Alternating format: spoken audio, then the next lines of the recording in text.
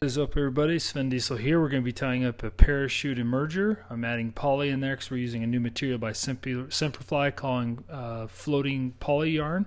But let's go ahead and get started. This is a D uh, size 16 hook uh, by Stealth Hooks. D stands for dry series and this is the uh, Semperfli in an A dot uh, wax thread. I'm going to go ahead and start this right behind the eye with a little bit of spacing between the eye and where I started my thread. Um, that way later we'll have a little bit of room to close this fly off. And I'm laying down a little bit of a thread base for the foam cylinder we're going to be using. This is um, a foam cylinder. I think it's uh, two-tone foam. It's got a white and here's the cutter I'm using. It's about the same size as the hook gap on here and I'm going to go ahead and just go real slow to start it and then make sure that my finger's not on the other side and go out and through and there we go we just cut out a foam cylinder that quick uh, these uh, foam cylinder cutters are pretty sharp and the foam seems to be pretty good. So I either pull it out by the end there um, or you can use your bodkin and poke it out through that little hole. I've seen guys also wet it, um, but I don't do that. And for this size, size 16, I'm going to trim a little bit of that white off. The white seems to just give me a little bit more visibility, and so I'll go ahead and do a couple loose wraps there, making sure to leave that gap between the hook eye and where I'm binding down this foam and then now I'm going to kind of zigzag this through this mess and condense that foam with some nice tight wraps trying to keep it on the top of the shank to the best of my ability. And that's why we laid down that thread base before. And then I'll cut off the tag end at a taper and X through that so that I kind of taper it off a little bit but I'm going to be butting in our materials later. And I want to make sure I've got uh, spacing underneath uh, so we can do a whip finish I'm going to put in some ribbing. This is Semperfli gold tinsel and it's in uh, small. And we're just going to cut off about a three to four inch piece. If you're going to be tying up multiple, you know, cut off a six to eight inch piece. It's easier sometimes to work with a longer piece. And I'll just tie that in right there at the rear um, section of my bend of the, of the hook shank. And then I'll work it right into the bend, the top of the bend, and then advance my thread back up. And we'll get that out of the way. Now, to even out this body, we're going to be using uh, this uh, floating poly yarn, hence the poly emerger.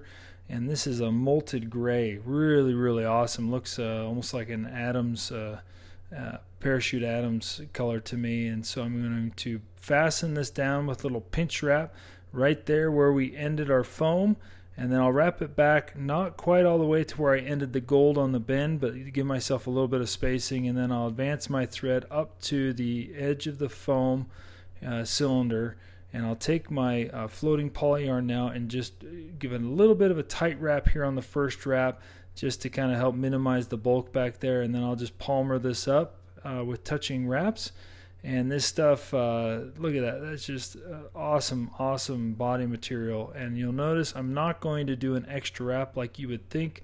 I want to leave a little bit of room here and I don't want to crowd it is what I found to be a trick so that we can um, get our hackle on there pretty easy. And then I'll just rib this uh, tinsel the opposite way giving it a little hot spot near the butt here because this is an emerger fly so this will be down um, in the uh, the water and visible. So I want it to be kind of a, hey, look at me. Um, I'm either annoying or I look tasty. So um, that's what we're going for by adding this uh, this tinsel. And so then as I get up here, I'll do a couple wraps right here.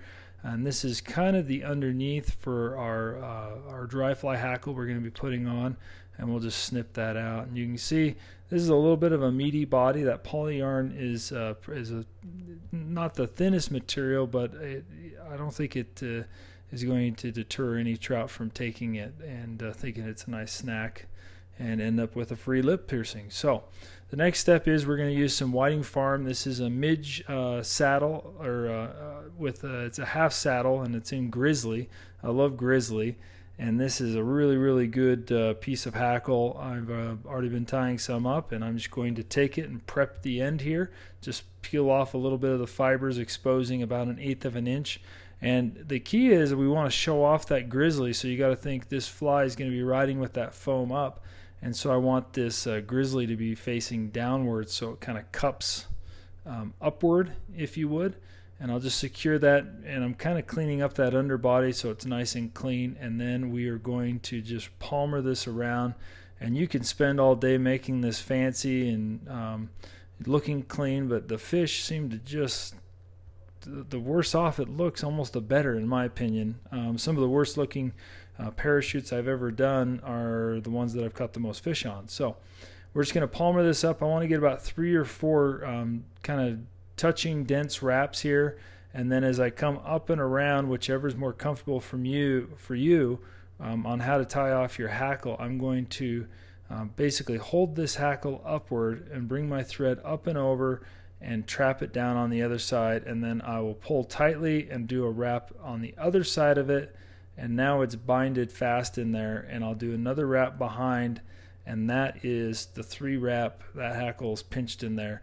But the key is I'm not going to trim the stem flush down. I'm going to leave a little bit out. That foam head's not going to deter it's not going to prick the fish's mouth or be an annoyance but it's going to allow that thread to keep that uh, hackle nice and secure in there and so now comes the hard part. This is, I like, you could whip finish up and over the foam cylinder, but I want to pop that foam up. And so I'm going to come in here and do some nice clean wraps underneath.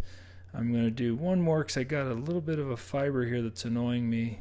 And so uh, we've got a mid whip finisher here, and this is where it gets really fun. You could half hitch it and use a tool, but I'm going to do a three turn whip finish here and be super super careful getting it in there nice and tight not to have your wraps go over the eye.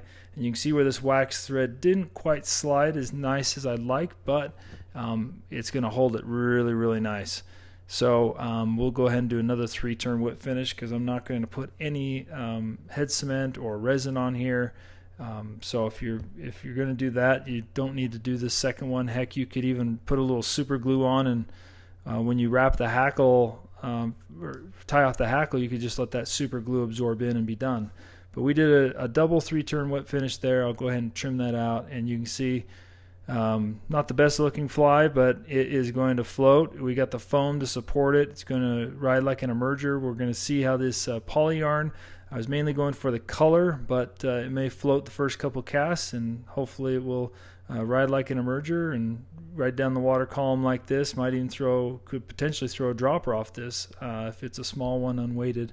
But look at that grizzly, just looks beautiful. So tie some up. Hopefully they pierce some lips for you and have fun tying it.